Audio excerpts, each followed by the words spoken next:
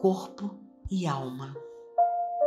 Atentos ao imperativo da elevação espiritual, convém destacar tanto as necessidades do corpo quanto as da alma. Procuras odontólogos distintos para tratamento dentário. Urge, ao mesmo tempo, aprimorar a palavra a fim de que o verbo não se nos faça azorrague na boca. Consultas oculistas e otorrinos diversos para retificar os desequilíbrios dos olhos e dos ouvidos.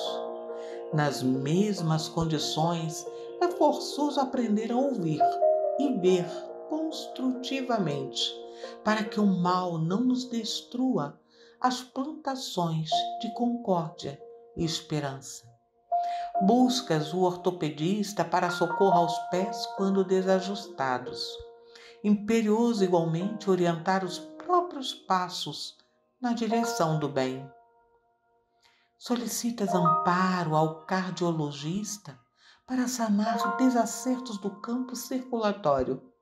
De igual modo, é preciso sublimar os impulsos do coração.